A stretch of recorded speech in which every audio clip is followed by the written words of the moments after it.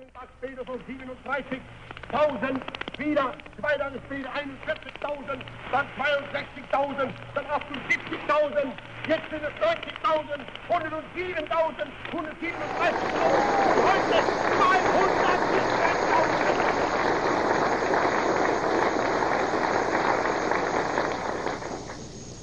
You have just heard how, once again, we have emerged victorious in countries across the planet in pursuit of the aims of Scientology.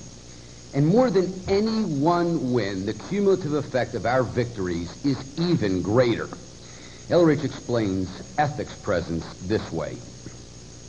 Ethics presence is an X quality made up partly of symbology, partly of force, some now we're supposed to's, and endurance.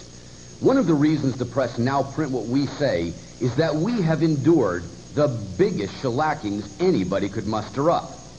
We've gained ethics presence publicly by it.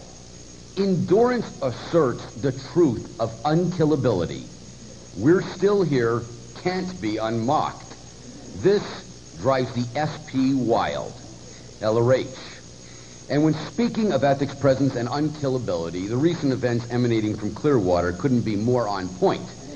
Because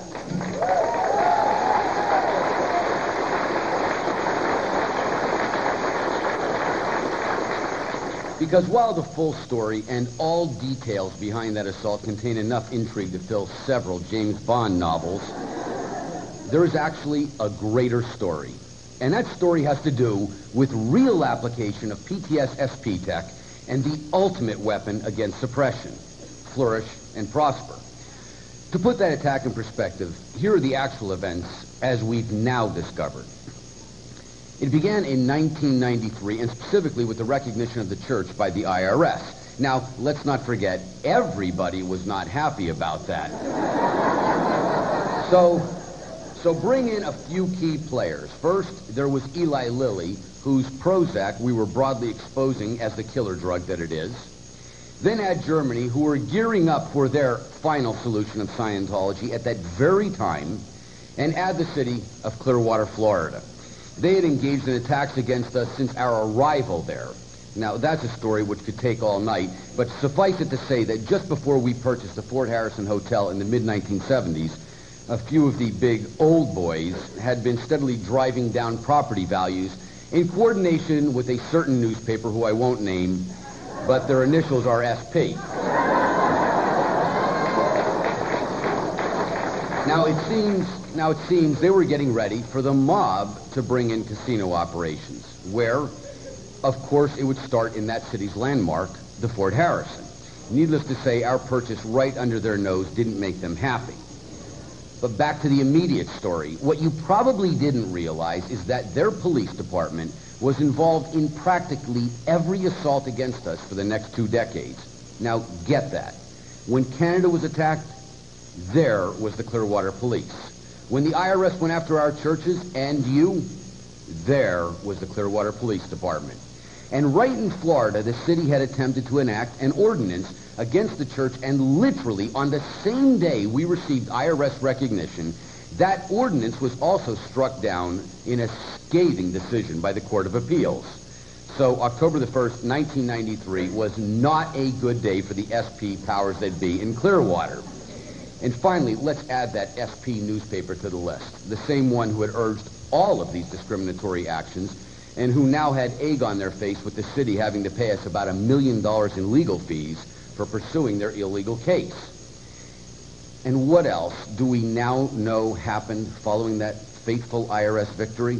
Well, first, the German embassy in Washington, D.C. reported back to Germany that our tax exemption was a grave development and frantically advised all stops be pulled in undermining our exemption. Second, Eli Lilly set loose a team of former FBI agents and PR firms to work out the most effective means to discredit Scientology. And where did they decide to lead their assault? In Germany, by bringing the SP government on board. They chose Clearwater because it is the home of our Mecca, and what better target to attack since their losses were so great? Further, it was the one local government in America still antagonistic to the church, with their newspaper being the only source of entheta on our recognition in 1993, quoting both the police chief and mayor's disapproval. So this was the stage, and these were the players that converged for the last big enemy assault in the United States. And make no mistake, that was precisely what was behind that assault. They were just looking for anything to get us. Because absolutely nothing the media reported about that case had any part in reality, as we now know. The police began their inquisition, but as their files just released this week show, they knew there was nothing untoward from the first week. But that wouldn't stop them because they had a ready and willing ally in the local medical examiner who would conduct tests to prove something was wrong. Now, how did she plan to get away with that? Easy. As soon as she concocted her false results, she destroyed the evidence. Literally, that's what she did. I'm not joking. What else do we know? She was a heavy supporter of Prozac and couldn't stand the fact that CCHR, CCHR by name, found out about newly caused deaths of Prozac before she could say it was something else. Again, no joke. But let's not forget the black PR campaign is what fostered this assault. And while the first stories emanated from Clearwater, they were actually written by German reporters. Now, of course, we've known that datum for years, but that's not the full story. And again, this comes from police files withheld from us until this week. These files show the German media was secretly meeting with the police the whole time, but that's still not the big secret because it turns out those reporters were identifying themselves to the police as representatives of the German government. That's right, they were actually German intelligence. But as I said, I could give you intrigue all night. the real mystery is how the state officials ever thought they could get away with this. And the answer is simple, with generalities. By attacking the church, they didn't have to ever prove any person did anything wrong. Their only strategy was to spread enough black PR to smear everybody. And they had the perfect mouthpiece to do it, the well-named SP Times. In fact, they were hoping the church would do what any other organization does. After all, the only thing at stake, they said, was a $15,000 fine.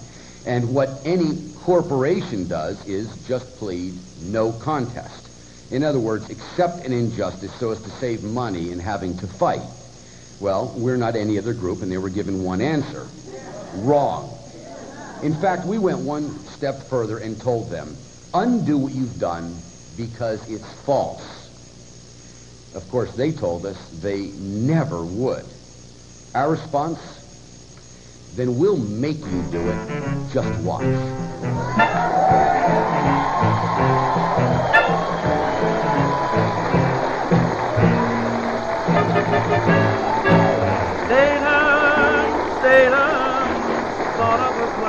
Dressed as a man, walking the earth since he began.